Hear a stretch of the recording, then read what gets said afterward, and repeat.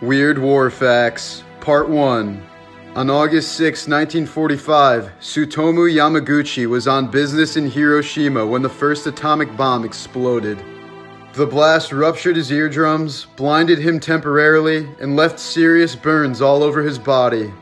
Two days later, he returned to his job in Nagasaki, and his coworkers called him crazy as he recounted the details of a single bomb destroying an entire city.